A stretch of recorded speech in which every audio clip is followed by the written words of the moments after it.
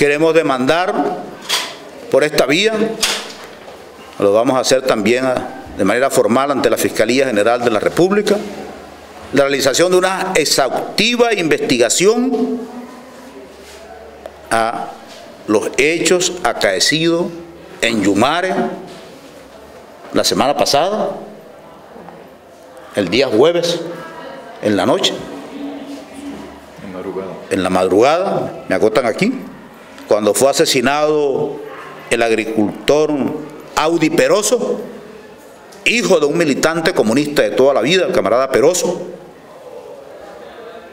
sin ningún proceso de confrontación, aun cuando se quiera presentar de esa manera. Toda la información que tenemos ¿eh? es que hubo un acto de ejecución y nosotros demandamos la investigación exhaustiva. De los agentes policiales del Estado, Yaracuy, que participaron en esa acción.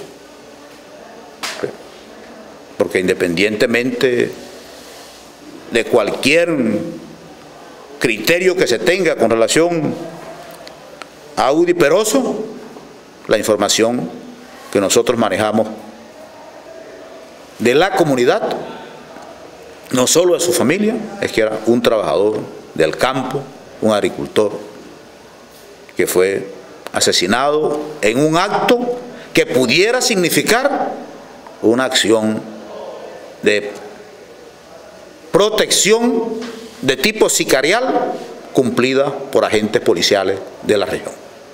Por eso es que demandamos la investigación a fondo y el castigo de los responsables si es que los hubiere.